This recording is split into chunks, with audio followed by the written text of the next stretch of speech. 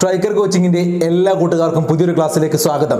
ഞാൻ നിങ്ങളുടെ ഷഹനാദാണ്. ഇന്ന് നമ്മൾ പഠിക്കുന്നത് കേരള ഭൂമിശാസ്ത്രമാണ്.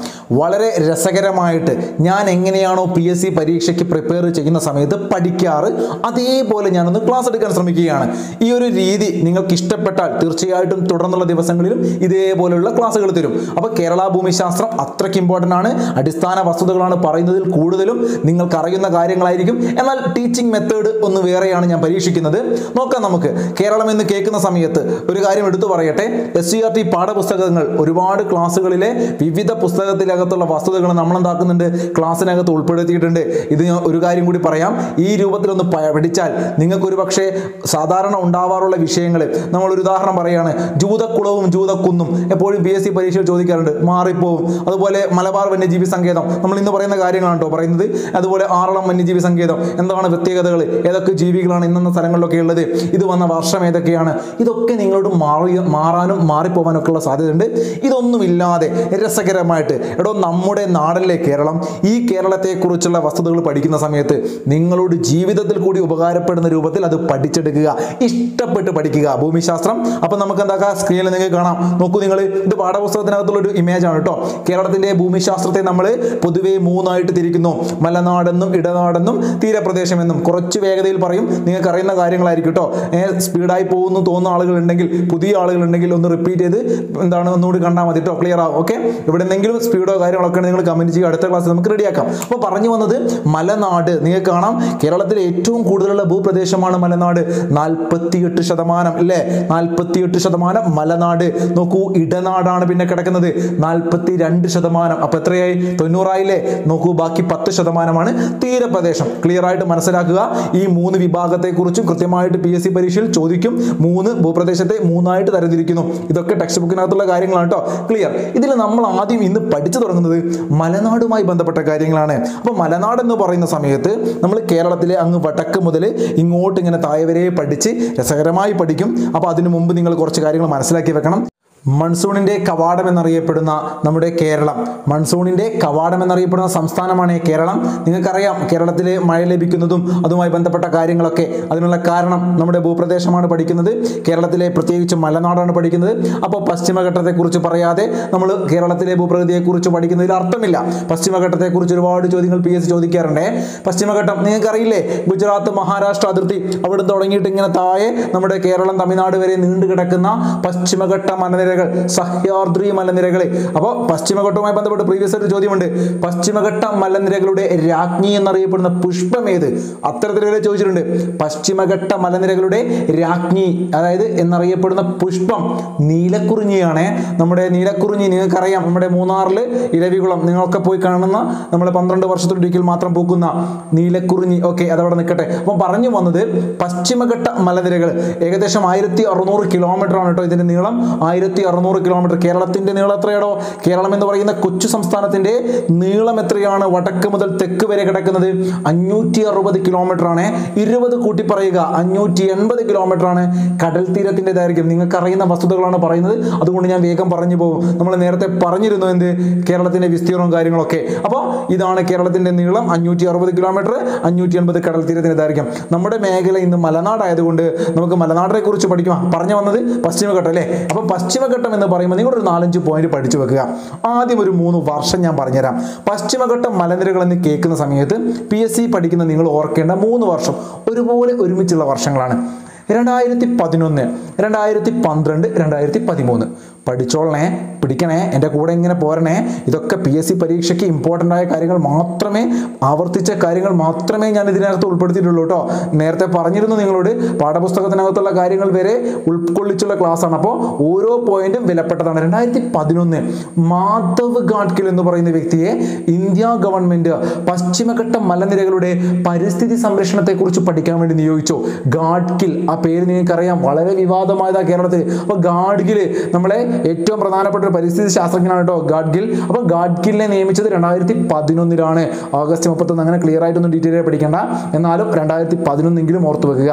രണ്ടായിരത്തി പന്ത്രണ്ട് നോക്കൂ അടുത്ത വർഷമായിരുന്നു യുനെസ്കോ.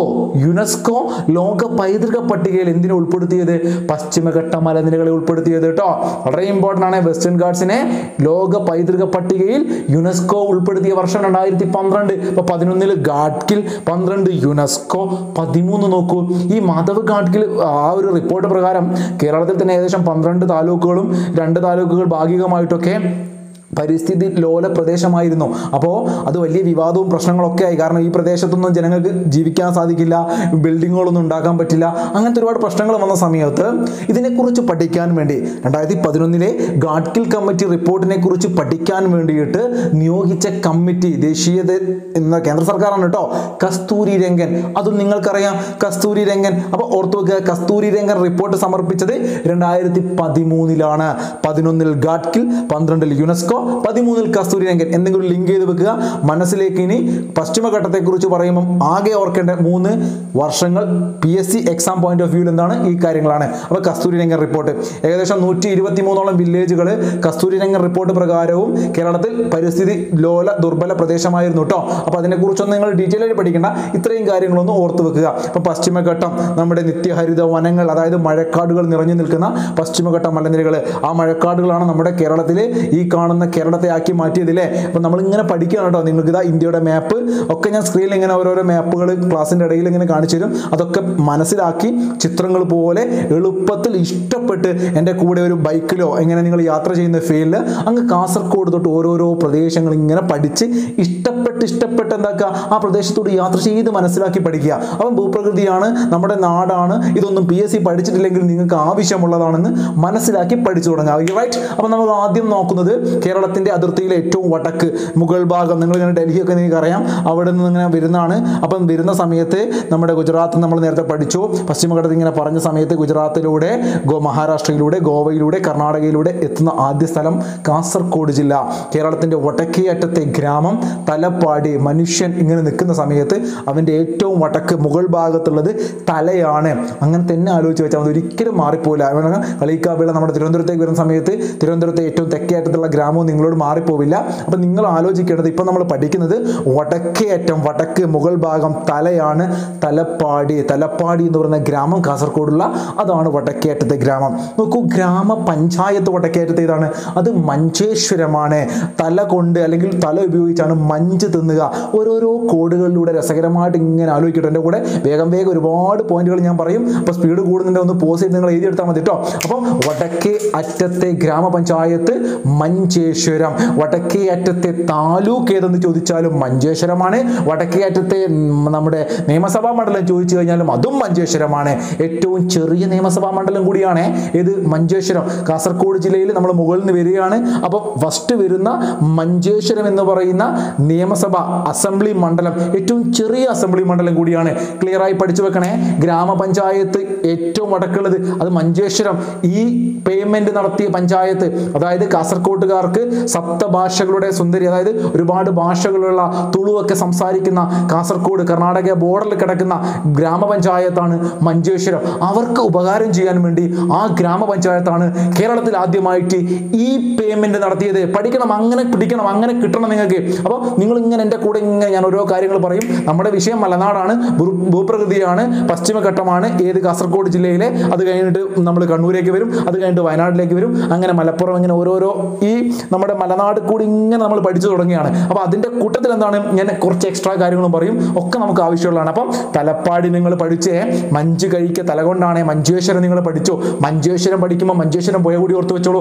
കേരളത്തിലെ ഏറ്റവും ചെറിയ നദി നദിയാവാൻ വേണ്ട കുറഞ്ഞ ദൂരം പതിനഞ്ച് കിലോമീറ്റർ നിങ്ങൾക്കറിയാം. അപ്പോൾ കേരളത്തിലെ ഏറ്റവും ചെറിയ നദി അത് പതിനാറ് കിലോമീറ്റർ ഉള്ള മഞ്ചേശ്വരം പുഴയാണ്.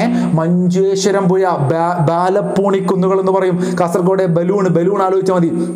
കാരണം കുട്ടികൾക്ക് മഞ്ച് ഇഷ്ടമാണ്. മഞ്ച് കഴിക്കുക തലകൊണ്ടാകുക നിങ്ങൾ നേരത്തെ പഠിച്ചു. അപ്പം മഞ്ചേശ്വരം പുഴ. അപ്പം മഞ്ച് ആലോചിക്കുക. ബാലന്മാർ കുട്ടികൾ ബാലം. ബാലപ്പൂണിക്കുന്നുകൾ. കാസർഗോഡ് ബാലപ്പൂണിക്കുന്നുകളിലൂടെ ഉത്ഭവിച്ചിട്ട് ഉപ്പളക്കായൽ നമ്മുടെ തലകൊണ്ട് തന്നെയാണ് ഉപ്പ് കഴിക്കുക. അപ്പം മഞ്ചും കഴിച്ചു ഉപ്പും കഴിച്ചു. എങ്ങനെയെങ്കിലുമൊക്കെ ലിങ്ക് ചെയ്ത് വെച്ച് നിങ്ങൾ ഇതൊന്നൊരു കോഡൊന്നും അല്ല കേട്ടോ കോഡുകൾ പൊതുവേ പറയാൻ ഇഷ്ടപ്പെടാത്ത ഒരാളാണ് ഞാൻ എന്നാലും നിങ്ങൾക്ക് പഠിക്കാൻ ഇതെങ്കിലും ചിലർക്ക് ഉപകാരപ്പെടും ഈ കോഡുകളൊക്കെ. അധികം ആളുകളും കോഡ് വെച്ച് തന്നെ പഠിക്കുന്ന ആളുകളാണ്. അപ്പോൾ അവർക്ക് വേണ്ടിയിട്ട് ഞാൻ കൂട്ടത്തിലൊന്ന് കോഡൊക്കെ പറയും. അപ്പോൾ ആവശ്യമുള്ളവർ സ്വീകരിക്കുക അല്ലാത്തവർ എന്താക്കുക ക്ലാസ്സുകളിലെ പോയിന്റ് മാത്രം കേൾക്കുക. അപ്പോൾ പറഞ്ഞു വന്നത് മഞ്ചുവേശ്വരം പോയ പതിനാറ് കിലോമീറ്റർ ആണ് ഏറ്റവും കുറഞ്ഞത് നദിയാവാൻ വേണ്ടത്. പതിനാറ് കിലോമീറ്റർ അല്ല പതിനഞ്ച് കിലോമീറ്റർ ആണ്. അപ്പം ഒരു കിലോമീറ്റർ അധികമുള്ള പുഴയാണ് ഇത്. മഞ്ചേശ്വരം പുഴ. എവിടെയാണ് ഇത് പോയി ചെന്ന് പതിക്കുന്നത്? ഉപ്പളക്കായൽ. ഏറ്റവും വടക്കേറ്റത്തുള്ള കായൽ. കിട്ടിയോ? അപ്പൊ കേരളത്തിലെ ഏറ്റവും വടക്കേറ്റത്തുള്ള കായൽ അത് ഉപ്പളക്കായലാണ്. കാസർഗോഡ് ഏറ്റവും വടക്കേറ്റത്തുള്ള നദി മഞ്ചേശ്വരം പുഴ പതിനാറ് കിലോമീറ്റർ അവിടെ ഒരു ചോദ്യം കിടക്കുന്നുണ്ട് പി എസ് സിക്ക് പിടിച്ചോളണം കേട്ടോ എന്താണ്? കടലിൽ ചെന്ന് പതിക്കുന്ന ഏറ്റവും ചെറിയ നദി ഏതാണ്?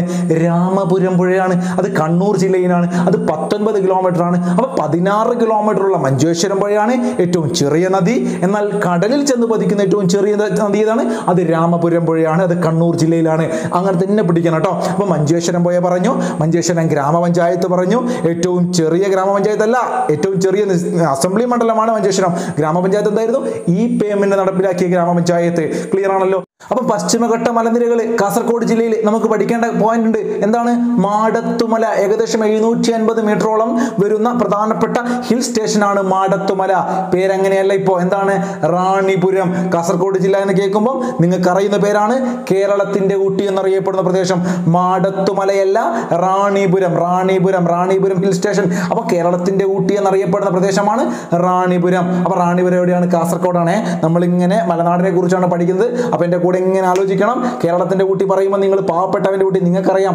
പാവപ്പെട്ടവന്റെ കൂട്ടി നമ്മുടെ ഓറഞ്ച് തോട്ടങ്ങൾക്ക് പ്രസിദ്ധമായ പാലക്കാട് ജില്ലയിലെ അതും പശ്ചിമഘട്ടത്തിൽ തന്നെയാണ്. നമ്മൾ ഇന്ന് പാലക്കാട് ജില്ല ഒക്കെ പഠിക്കും. അപ്പോൾ എന്താണ്? അത് പാവപ്പെട്ട പാവപ്പെട്ട ആളുകൾക്ക് എന്താണ്?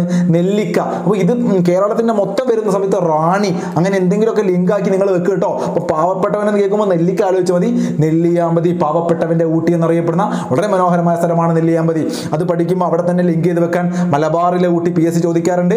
അപ്പൊ ആ കാര്യങ്ങൾ കൂടി ഒന്ന് ഞാൻ പറഞ്ഞുതരാം. എങ്ങനെയെങ്കിലും നിങ്ങൾ ലിങ്ക് ചെയ്ത് വെച്ച് പഠിക്കട്ടോ. മലബാറിലെ ഊട്ടി എന്നറിയപ്പെടുന്നത് എന്റെ വീടിരിക്കുന്ന പ്രദേശത്ത് നിന്നും ഏകദേശം ഒരു പത്ത് കിലോമീറ്റർ ദൂരെ കിടക്കുന്ന ഒരു വളരെ മനോഹരമായ സ്ഥലം വയലട. അത് നിങ്ങളോട് മറന്നു പോകില്ല തിരുവനന്തപുരം അതുപോലെ കേരളത്തിന്റെ തെക്ക് ഭാഗത്ത് നിൽക്കുന്ന ആളുകളൊക്കെ ഈ ക്ലാസ് കാണുന്നുണ്ടാവും. അപ്പോൾ അപ്പൊ അവരോടായിട്ട് പറയുകയാണ് അവർക്ക് ഈ മലബാറിലെ പ്രദേശങ്ങളൊന്നും അത്രയ്ക്ക് ഫെമിലിയർ അല്ല. അപ്പോൾ എന്താണ്? അവർക്ക് പഠിക്കാൻ വേണ്ടിയിട്ട് ഈ ഒരു ക്ലാസ് കാണുന്നവർക്ക് ആ ക്ലാസ് എടുത്ത മാഷ് അയാളെ വീട് കോഴിക്കോടായിരുന്നു. അയാളുടെ സ്ഥലം ഈ വയലടയാണ്. അപ്പം നിങ്ങളോട് മറന്നു പോകില്ലേ അപ്പം ബാലുശ്ശേരിക്കാരനാണ് ഞാൻ അപ്പം ബാലുശ്ശേരി നിന്ന് വളരെ പത്ത് കിലോമീറ്റർ ദൂരം മാത്രമായ വയലട.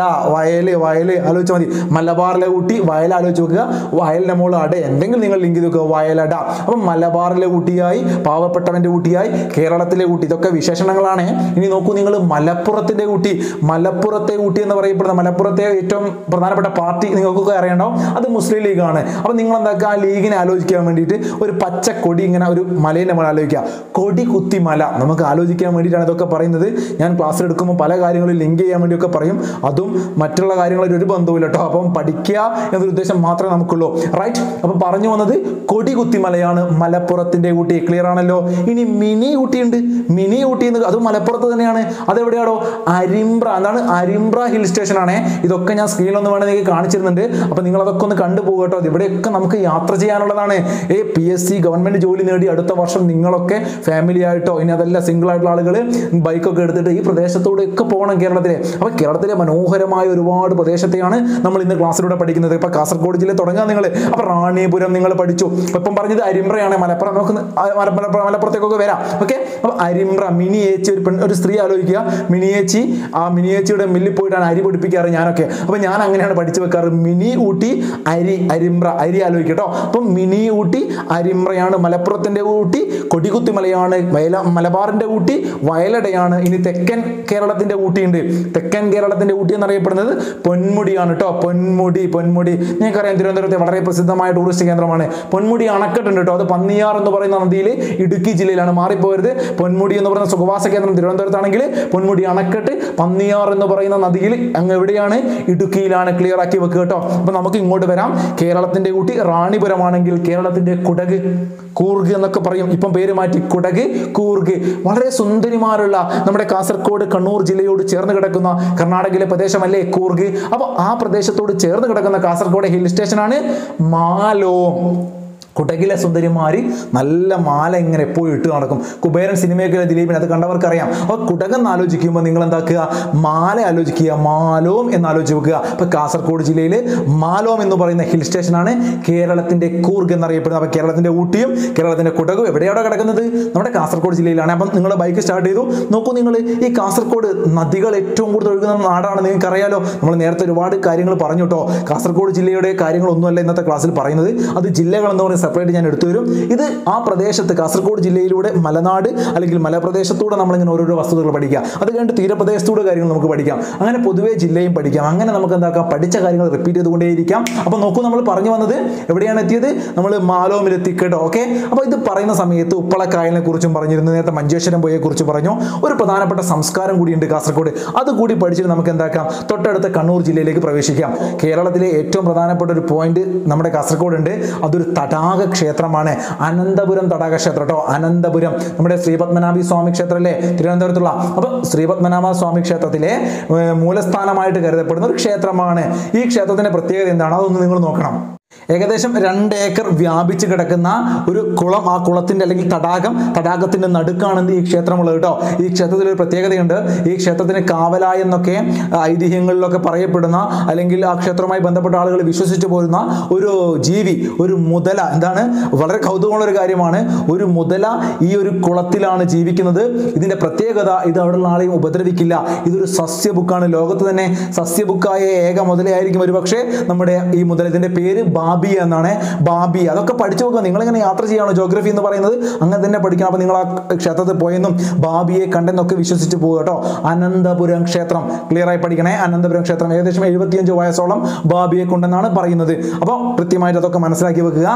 നമ്മളെ ഈ കാസർഗോഡ് ജില്ലയിലെ മലമ്പ്രദേശത്തെ കുറിച്ചൊക്കെ പഠന സമയത്ത് ആ മലമ്പ്രദേശത്ത് ഉൽപ്പാദിപ്പിക്കുന്ന രണ്ട് കാര്യങ്ങളുണ്ട് അതൊന്ന് പഠിച്ചു വെക്കുക നിങ്ങൾ കേട്ടോ. ഒന്ന് അടക്കയാണ്. മറ്റൊന്ന് പുകയിലയാണ്. നമ്മൾ മുറുക്കില്ലേ നമ്മളെ വെത്തിലെ വെച്ചിട്ട് അടക്കയും പുകയിലൊക്കെ വെച്ചിട്ട്. അപ്പോൾ ആ രണ്ട് കാര്യങ്ങൾ കാസർഗോഡുകാർക്ക് ഇമ്പോർട്ടന്റ് ആണ്. ഈ അനന്തപുര ക്ഷേത്രവും അതുപോലെ തുളു ഭാഷയൊക്കെ സംസാരിക്കുന്ന നമ്മുടെ കന്നഡ കേരളത്തിലേക്ക് പ്രവേശിക്കുന്ന ഏ തലപ്പാടിയിലൂടെ പ്രവേശിക്കുന്ന ഈ നാട്ടുകാർക്ക് എന്താണ്? അടക്കയും പുകയിലയും ഒക്കെ ഇഷ്ടമാണെന്ന് പഠിച്ചു വെക്കുക. പുകയില ഏറ്റവും കൂടുതൽ അല്ലെങ്കിൽ പുകയില ഉൽപ്പാദിപ്പിക്കുന്ന ഏക ജില്ലയാണ് കാസർഗോഡ് പഠിക്കണേ. പുകയില ഉൽപ്പാദിപ്പിക്കുന്ന ഏക ജില്ലയാണ് കാസർഗോഡ് അതുപോലെ അടക്ക ഏറ്റവും കൂടുതൽ ഉൽപ്പാദിപ്പിക്കുന്നതും കാസർഗോഡ് ജില്ലയിലാണ്. കിട്ടണേ. ഓക്കെ നോക്കൂ നിങ്ങൾ അടക്കയെക്കുറിച്ചും പുകയിലയെക്കുറിച്ചും പറഞ്ഞതുകൊണ്ട് കേരളത്തിൽ കശുവണ്ടി ഏറ്റവും കൂടുതൽ ഉൽപ്പാദിപ്പിക്കുന്നു. അടുത്ത മലനാട്ടിലേക്ക് കയറുകയാണ്. കശുവണ്ടി ഉൽപ്പാദിപ്പിക്കുന്നു. നമ്മുടെ ലാറ്ററൈറ്റ് മണ്ണ് അതല്ലെങ്കിൽ ചെങ്കൽ മണ്ണ്. നിങ്ങൾക്കറിയാം കണ്ണൂർ കല്ലുകൾ എന്നൊക്കെ വളരെ പ്രസിദ്ധമാണ്. കേരളത്തിലെ പല ഭാഗങ്ങളിലേക്കും എത്തുന്ന കല്ലാണ് കണ്ണൂർ കല്ലുകൾ അപ്പം കണ്ണൂരിലെ ഈ ചെങ്കൽ മണ്ണ് നിറഞ്ഞ ഈ ഒരു പ്രദേശത്ത് എന്താണ് തഴച്ചു വളരുന്നത്? കശുവണ്ടികളാണ്. ഇപ്പം കേരളത്തിലെ ഏറ്റവും കൂടുതൽ കശുവണ്ടികളുള്ള കശുവണ്ടി മരങ്ങളാണ്. കശുവണ്ടി ഫാക്ടറി വേറെയുണ്ട്. കശുവണ്ടി കശുവണ്ടി ഉൽപ്പാദനം വേറെയാണ്. അപ്പോൾ കശുവണ്ടികളുള്ള ഏറ്റവും കൂടുതൽ കശുവണ്ടി മരങ്ങളുള്ള കശുമാവുള്ള പ്രദേശം ജില്ല ഏതാണ്? കണ്ണൂരാണ്. കശുവണ്ടി ഫാക്ടറി ഉള്ളത്. അത് കൊല്ലമാണ്. നമുക്ക് പിന്നീട് പഠിക്കാം. അപ്പോൾ മാറിപ്പോവരുത്. അത് വളരെ ഇമ്പോർട്ടന്റ് പോയിന്റ് അതുകൊണ്ട് പറഞ്ഞതാണ്. അപ്പോൾ ഈ കണ്ണൂർ ജില്ലയിലേക്ക് വരുന്ന സമയത്ത് കണ്ണൂർ ഏറ്റവും പ്രധാനപ്പെട്ട സുഖവാസ കേന്ദ്രങ്ങൾ അല്ലെങ്കിൽ ഹിൽ സ്റ്റേഷനുകൾ ഒരു മൂന്നെണ്ണം നിങ്ങൾ എന്താക്കുക ആദ്യം പഠിച്ചു വെക്കുക. എന്നിട്ട് നമുക്ക് കണ്ണൂരിലെ പല കാര്യങ്ങൾ പഠിച്ചു തുടങ്ങാം. ക്ലിയർ ആണല്ലോ? ഏതൊക്കെയാണ് കാര്യങ്ങൾ പൈതൽ മലയും ഏഴിമലയും അതുപോലെ പുരളിമലയും. നിങ്ങളുടെ പഴശ്ശിരാജയുടെ ചരിത്രം പഠിക്കുന്ന സമയത്ത് പുരളിമല നിങ്ങൾ പഠിക്കാറില്ലേ? അപ്പോൾ പുരളിമല. ഇത് പൊതുവെ പഠിക്കണമെങ്കിൽ കണ്ണ് നമ്മുടെ കുട്ടികൾക്ക് കണ്ണിന്റെ തായ് ഇങ്ങനെ വീഞ്ഞു കൊടുക്കും. ചെറിയ മക്കളായിരിക്കുന്ന സമയത്ത്. അപ്പോൾ ഏഴ് ദിവസം എന്താണ് കുട്ടികൾക്ക് പൈതൽ ഏ പൈതൽ മക്കൾക്ക് ചെറിയ പൈതൽ എന്നാണ് നമ്മൾ വിളിക്കില്ലേ കുട്ടികളെ? അപ്പം ഏഴ് ദിവസം പൈതലുകൾക്ക് എന്താക്കണം എന്ത് ചെയ്യണം? പുരട്ടി കൊടുക്കണം എന്തെങ്കിലും എണ്ണയൊക്കെ ഇട്ട് ഇങ്ങനെ പുരട്ടണം. അപ്പോൾ ഏഴ് ദിവസം പൈതലുകൾക്ക് പുരട്ടണം. ഏഴ് ദിവസം പൈതൽ ഏഴുമല പൈതൽ മല പുര പുര പുരളി മല കേട്ടോ ഇത് ഞാൻ കോടാക്കി പറഞ്ഞതാണ്. അപ്പോൾ എന്താക്കുക നിങ്ങൾ ഇതൊന്ന് മനസ്സിലാക്കി വെക്കുക കേട്ടോ ഈ മൂന്ന് മലകൾ ഏഴുമല എന്ന് പറയുമ്പോൾ ഇന്ത്യയിലെ നേവൽ അക്കാദമിയാണ് ഏറ്റവും പ്രധാനപ്പെട്ട. ഇന്ത്യയുടെ നേവൽ ബേസ് ആണ് ഏഴുമല. നിങ്ങൾക്കറിയാം. ആ കാര്യങ്ങളൊക്കെ. അപ്പോൾ അടുത്തത് പൈതൽ മല. അതും വളരെ പ്രധാനപ്പെട്ട ടൂറിസ്റ്റ് കേന്ദ്രമാണ്. പിന്നെ വരുന്നത് പുരളി മല. ഇതൊക്കെ ഒന്ന് നോട്ട് ചെയ്ത് വെക്കുക. ഓക്കെ ആറളം വന്യജീവി സങ്കേതം. നമ്മൾ ഏറ്റവും പ്രധാനപ്പെട്ട ഈ വനപ്രദേശത്തെ മലനാട് പഠിക്കുമ്പോൾ അവിടുത്തെ വന്യജീവി സങ്കേതങ്ങളും അതുപോലെ ദേശീയോദ്യാനങ്ങളൊക്കെ ഉണ്ട് അതൊക്കെ പഠിക്കണം. അപ്പോൾ വടക്കേ അറ്റത്തെ കേരളത്തിന്റെ ഏറ്റവും വടക്കേ അറ്റത്തുള്ള വന്യജീവി സങ്കേതം ഏതാണ്? ആറളമാണ്. കണ്ണൂരുള്ള ആറളമാണ്. കണ്ണൂർ ഇപ്പോൾ രണ്ട് വന്യജീവി സങ്കേതങ്ങളുണ്ട്. അപ്പോൾ നിങ്ങൾ ഭൂമിശാസ്ത്രം ഞാനിപ്പോൾ ഇമാജിൻ നിങ്ങൾക്ക് കാണിച്ചു തരും. അതൊക്കെ ഒന്ന് നോക്കുക കേട്ടോ. എവിടെയാണ് ആറളം കിടക്കുന്നത്? എവിടെയാണ് തൊട്ടടുത്ത് കിടക്കുന്ന? ഏത് കിടക്കുന്ന? പുതുതായിട്ട് വന്ന കൊട്ടിയൂർ കിടക്കുന്നത്? ഒക്കെ ഒന്ന് നോക്കി വെക്കുക. അപ്പോൾ ആറളം വന്യജീവി സങ്കേതം എന്ന് പറയുന്നത് പൂമ്പാറ്റകളുടെ ദേശാടനം. ആദ്യമായിട്ട് ശ്രദ്ധിക്കപ്പെട്ട വന്യജീവി സങ്കേതമാണ് ഏത്? നമ്മുടെ ആറളം വന്യജീവി സങ്കേതം കേട്ടോ. ആറളം വന്യജീവി സങ്കേതത്തിലൂടെ ഒഴുകുന്ന ഒരു നദിയുണ്ട്. ആറളം. ആറെന്ന് പറയുമ്പോൾ നദി എന്നല്ല അതിന്റെ പേര് തന്നെ. ആ നദിയുടെ പേര് ചീങ്കണ്ണിപ്പുഴയാണ്. ചീങ്കണ്ണി എന്ന് പറയും നമ്മൾ മുതലേ. നേരത്തെ ഒരു മുതലയെ പഠിച്ചില്ലേ? ബാബിയ. അപ്പോൾ ഇതൊരു മുതലേ എന്ന പേര് ആലോചിച്ച് വെക്കുക ആറളം വന്യജീവി സങ്കേതം എന്ന് കേൾക്കുമ്പോൾ ഏതാണ് ആ മുതലയുടെ പേര്? ചീങ്കണ്ണിപ്പുഴ കേട്ടോ. പുഴയുടെ പേരാണ്. അപ്പം ആറളം വന്യജീവി സങ്കേതത്തിലൂടെ ഒഴുകുന്ന നദിയാണ് ചീങ്കണ്ണിപ്പുഴ. കണ്ണൂർ ആറളം. കേരളത്തിലെ ഏറ്റവും വടക്കേ അറ്റത്തുള്ള വന്യജീവി സങ്കേതമാണ് ആറളം എന്ന് ആലോചിച്ച് വെക്കണം. അതുപോലെ സെൻട്രൽ സ്റ്റേറ്റ് ഫാം അതായത് കേന്ദ്ര ഗവൺമെന്റിന്റെ സ്റ്റേറ്റ് ഫാം ആലോചിച്ച് വെച്ചാൽ മതി. ആദ്യം അവർക്ക് എത്തിപ്പെടാൻ പറ്റുക ഏറ്റവും വടക്ക് ഭാഗത്താണ്. അപ്പോൾ ഏറ്റവും വടക്കേ അറ്റത്തുള്ള വന്യജീവി സങ്കേതത്തിലാണ് സെൻട്രൽ സ്റ്റേറ്റ് ഫാം ഉള്ളത് അതൊരു ലിങ്ക് ചെയ്ത് വെക്കുക കേട്ടോ. അപ്പോൾ കേന്ദ്ര സർക്കാർ ഒരു കാറിലാണ് വരുന്നതെങ്കിൽ ഡൽഹിയിൽ നിന്ന് വരുന്ന സമയത്ത് ആദ്യം കാസർഗോഡ് വന്നിട്ടാണ് ഇങ്ങോട്ട് വരിക. നമ്മുടെ കണ്ണൂരേക്ക് വരിക. അപ്പോൾ കാസർഗോഡ് ജില്ലയിൽ വന്യജീവി സങ്കേതങ്ങളില്ല. അതുകൊണ്ട് ഏറ്റവും വടക്കേരത്തുള്ള വന്യജീവി സങ്കേതം അത് ആറളമാണ് എന്ന് ആലോചിച്ച് വെക്കണം കേട്ടോ. ആറളം വന്യജീവി സങ്കേതം. സൈലന്റ് വാലി ഓഫ് കണ്ണൂർ എന്നറിയപ്പെടുന്നതാണ് കേട്ടോ Aralam. Silent valley of Kannur അപ്പോൾ അത്രയ്ക്ക് ഇമ്പോർട്ടന്റ് ആണ് ആറളം. കണ്ണൂർ ജില്ലയിൽ അപ്പോൾ സൈലന്റ് വാലി ഓഫ് കണ്ണൂർ എന്നറിയപ്പെടുന്ന നമ്മുടെ ആറളം വന്യജീവി സങ്കേതം.